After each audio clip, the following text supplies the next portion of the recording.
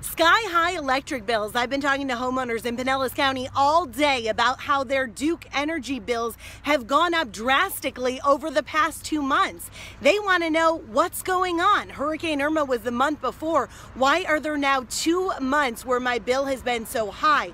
Some homeowners tell me that their bill went up five times higher than their normal rate without any explanation.